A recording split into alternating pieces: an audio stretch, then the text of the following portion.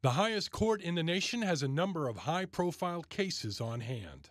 They'll be talking about gun rights and LGBT rights, abortion, and immigration. This will all happen as an impeachment investigation into President Trump takes place across the street in the Capitol building.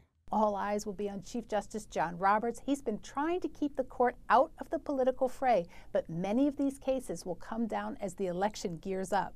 And political tensions are already flaring. Dozens of protesters appeared outside Senate Majority Leader Mitch McConnell's house Sunday, the anniversary of Justice Brett Kavanaugh's confirmation, calling for him to be removed.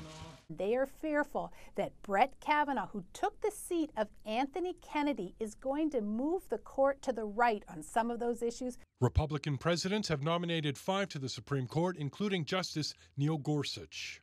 Our job is just to make sure the law that you, that we, the people, have enacted through our Constitution or through our democratic processes, everyone gets the benefit of that law.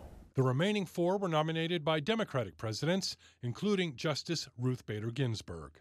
I love my job. It's the best and the hardest job that I have ever had.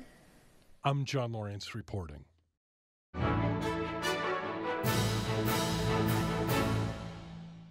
If you're watching Currents News on YouTube, be sure to hit the subscribe button and then click on the bell to get instant updates about all of our newest content because we are putting your faith in the news.